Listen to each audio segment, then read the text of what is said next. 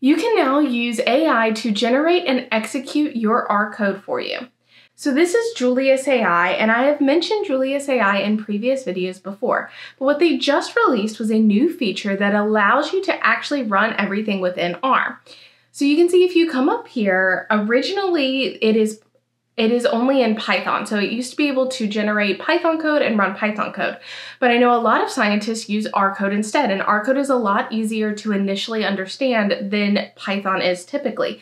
So it's sometimes a lot easier if you're just using coding for data analysis to use R code instead of Python code. So now what you can do is if you click this drop down here, you can switch it to R, which is currently in beta for Julius AI. Once you've done this, you can then input in what you want it to do. And for this example, I'm actually going to use native R datasets. So I'm going to use the MPG dataset within R, and Julius has already loaded in tidyverse for you into their R environment so that you can much more easily use the natural things within tidyverse within Julius AI. So what I'm going to do is input in a prompt here that says, please create a group bar chart using the MPG dataset.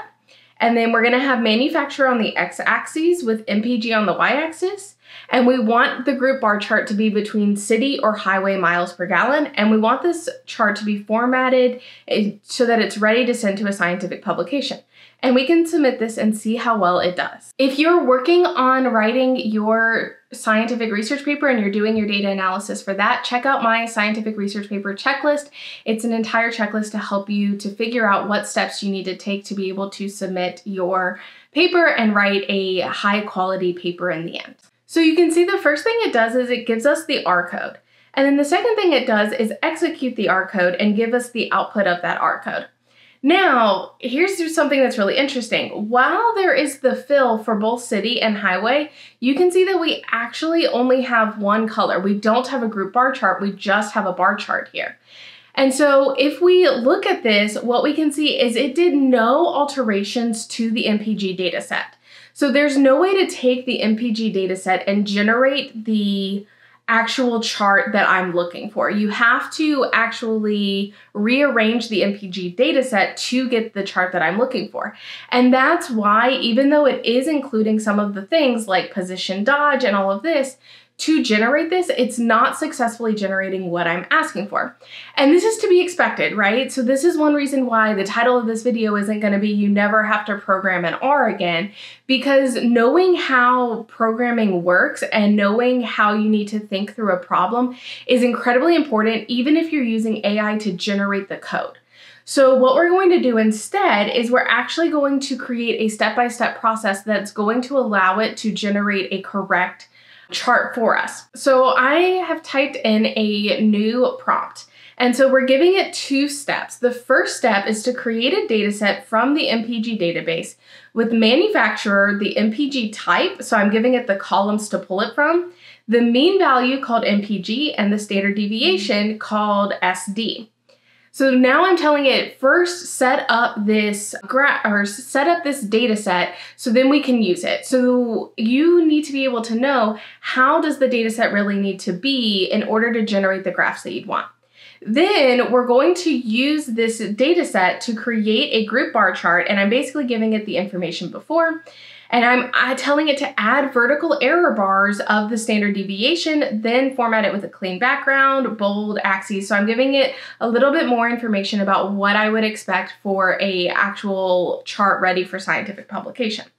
And so if I run this, so this is where something really interesting happens. And this is where I think Julius AI really sets itself apart from something like ChatGPT, where you could ask it the same questions and get the some R code given out to you. But what Julius AI is doing is it's actually running the R code that it generates. So when it gets an error, it can actually look at its entire traceback of that error and actually fix its code without you having to keep chatting back and forth. And so what happened here is it generated this initial R code. And then what happened is it got an error. So it said it could not find the function gather. And so what it did instead is it loaded in more packages here. So you can see it had only loaded in dplyr here, and so it loaded in tidyr. The way that I would do this as a researcher is I would actually load in just tidyverse, which would load in all of these packages, but this works as well. So what it did now, it created the first data set. So this is a data set that it, shows the head here. So you can see it's printing the head for us to look at. So it has the manufacturer, the type, and they used gather to get this. And then it has the mean MPG and the standard deviation of the miles per gallon. And so this is it's doing the first step. It's making sure the first step ran. Then it's taking that new data set and generating the plot that we would want for this. And so when we look at this now, you see that we actually get a plot with error bars that's actually a grouped bar chart. And this is exactly what we would expect. Our highway miles per gallon are higher than our city miles per gallon because these are all gas cars. So that's exactly what we would expect to get here. We have our axes label, we have a title. This looks fairly good. Now, what I would do is I still would not submit this for publication. And this is specifically because I would have my main axes bar. So I would have a square around this, and then I would get rid of the tick lines within the chart area. So that's particularly how I would do it if I was submitting this for publication. But what I do want to show you is we can actually take this and run it within RStudio. So I'm going to copy this I'm going to open up my RStudio. This is just a clean page. And so I'm going to copy all of it in here and show you that we can actually run this to make sure it is running accurately and it's exactly what we want.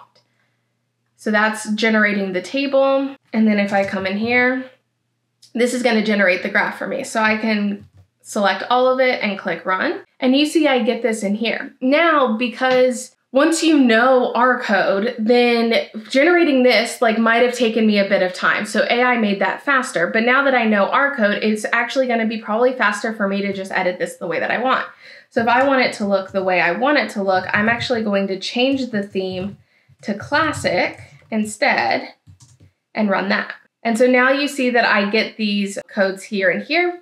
And then I can set my y-axis. You see how it's up. There's naturally, it's a little bit of an expansion there. And I wanna remove that. So now I can just add in two additional pieces of code. So I'm changing the theme. So theme classic gives you just the left and bottom bars where scale y continuous gives you this. Now, what you will notice is because I just did all of this, I changed the actual theming here. So what I'm going to do is now copy this part, which gave me the original theming, and I'm going to add that in because essentially when I rethemed it, I rewrote over all of that information. So if I rerun this, you can see now I'm getting that original type and I have my bar graphs actually sitting at zero and I have my left and bottom bars in with none of the minor tick marks going through the background of my plot. And so this is going to be better set for actually submitting it to a journal than it was originally. Now I could go into Julius AI and also ask it to change the patterning and things like that. So now I'm just asking it to change the striping. So I can say, can you create change this bar graph to have a striped black and white bar for CTY and a white bar for HWY. So what it did instead is it didn't really give me a striped bar, it gave me a black bar and a white bar. And the reason I wanted a striped bar is because now you can see you can't see that bottom error bars. So the reason it's probably not doing this is because it doesn't have ggpattern, which is the package you would use to do this. It doesn't have that loaded into the back end of Julia, so it doesn't probably know it, but this is probably a good set. I If I was going to do it this way, I would use gray instead of black so that my error bar didn't get completely demolished there going into the actual black bar there where you can see it both up and down for the white bar. So overall, that is how you can actually use Julius AI to make your R writing code faster. Again, it's not going to replace you knowing the basics of R. So I would still recommend learning the basics of R and knowing how to do basic data analysis, or at least being able to think like a data analysis. So understanding that every problem you have probably has multiple approaches and what do you need to do. And that's how you're going to best get the results out of something like any AI at all. But I would far use Julius AI over something like ChatGPT for generating these data analytics codes in R or in Python. If you're interested in Julius AI, I will have a link in the description below.